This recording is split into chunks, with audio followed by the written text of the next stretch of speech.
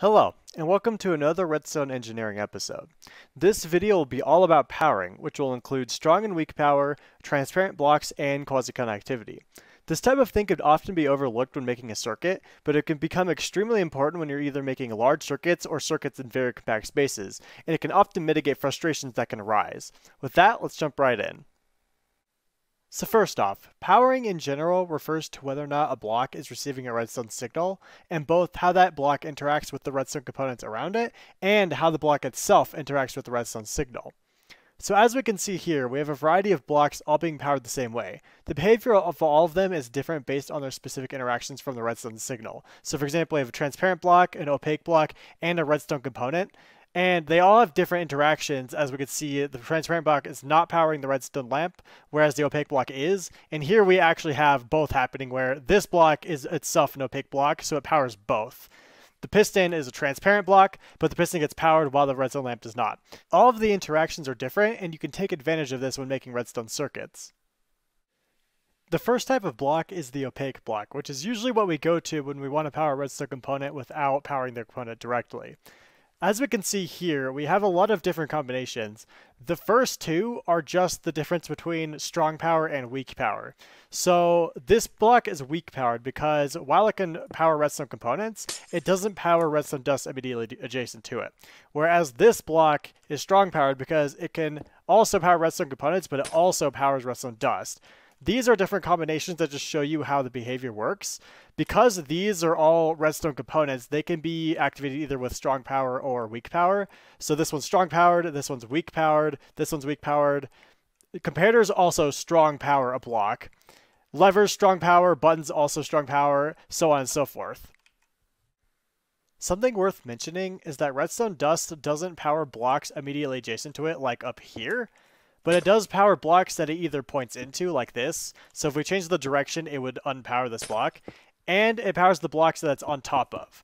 All of these powerings are weak powered, meaning that we can do this and cut off this redstone down here, and this no longer gets powered unless it's immediately connected, or with a transparent block on top of it.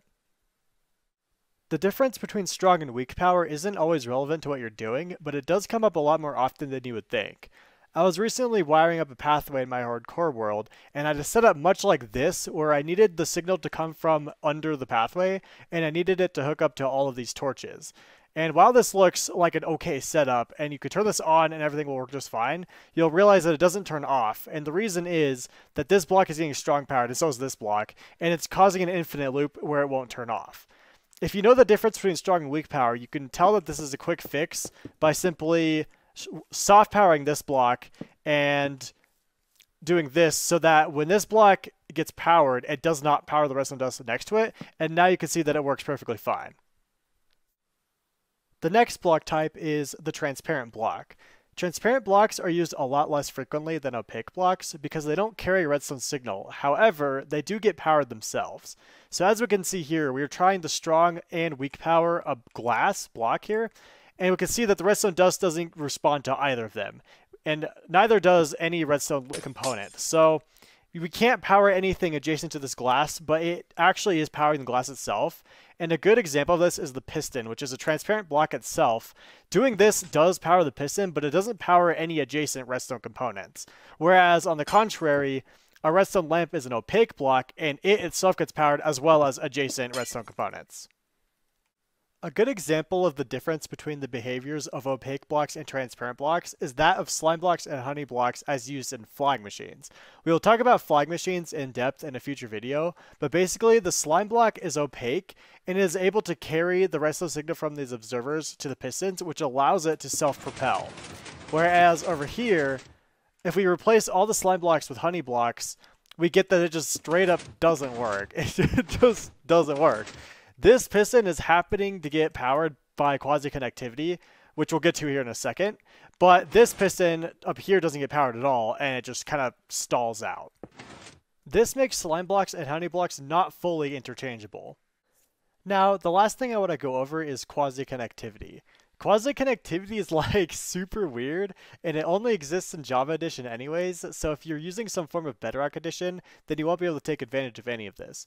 Quasi-connectivity only works with pistons, droppers, and dispensers, and is when the block above one of those components would be powered if there were some sort of redstone component there.